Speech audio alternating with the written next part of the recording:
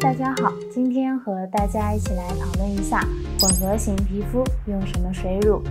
混合型皮肤一般 T 字区为油性肤质，毛孔粗大，油脂分泌较多；脸颊部位为干性肤质，油脂分泌较少，皮肤干燥，弹性差。